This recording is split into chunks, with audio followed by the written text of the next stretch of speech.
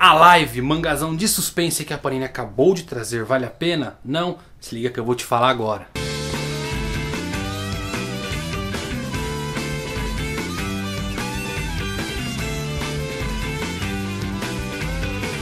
Fala galera, Evandro Fusari com mais um vídeo pra vocês. Hoje vou trazer um Vale ou Não Vale a Pena, a live, o novo mangá da Panini. Mas antes de eu falar, é novo no canal, se inscreve, já é inscrito, deixa um like. Então a live já foi anunciada em 2016, porém só entrou no checklist de dezembro de 2017 e provavelmente vai estar chegando nas bancas agora em janeiro.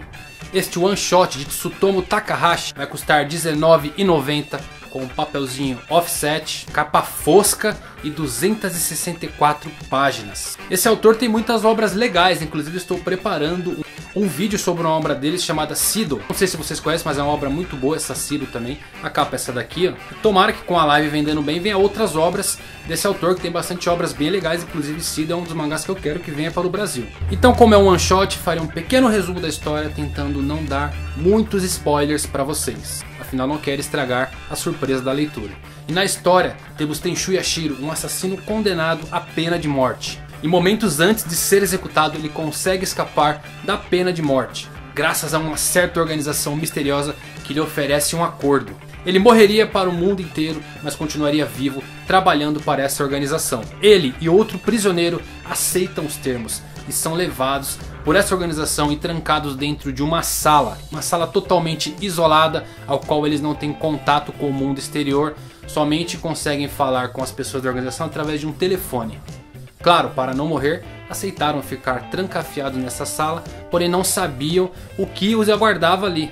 Na sala ao lado da sua, com uma divisória apenas por um vidro, está uma linda mulher, uma linda garota que se diz uma mulher mágica e que na verdade foi possuída por uma entidade. E que comecem os testes. Em meio a todos esses testes e tudo o que ele está passando, Yashiro tem alucinações com a sua namorada morta. Esses conflitos e os mistérios da garota da sala ao lado lhe reservam algumas surpresas. Então o mangá é bem fluido, a arte cai muito bem para a obra, muito bem para o contexto que a obra tenta te passar. Você provavelmente vai devorar esse mangá em questão de minutos.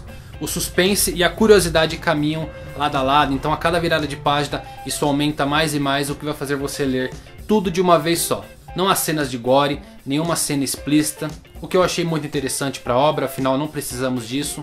A garota trancafiada na sala vai lembrar muito a Lucy de Elfenlied, os experimentos que tinham lá com aquela garota em Elfenlied. Pode remeter um pouquinho, porém você não vai ver aquelas garotinhas chibi, aquelas garotinhas pequenininhas, não. É uma arte mais adulta, uma arte bem legal mas vai te trazer algumas lembranças ali de Elfenlied. O desenvolvimento dos personagens, da organização, da entidade são bem interessantes, mesmo sendo curto, faz você ter um apelo por eles. Em poucas páginas você vai estar familiarizado com todos eles, como se fosse uma obra longa, ao qual você já leu vários capítulos. Isso é muito legal, uma nota positiva para essa obra. Pouquíssimas pontas ficam soltas, tudo é explicadinho na obra. E o final é bom, um final bem interessante, um final bom para um one shot. Eu achei bem legal, bem interessante como se desenvolveu e como concluiu essa obra. O único ponto que eu não gostei muito foi que a capa brasileira é diferente da japonesa. Essa capa brasileira, essa daqui que está aparecendo, achei um pouquinho confusa.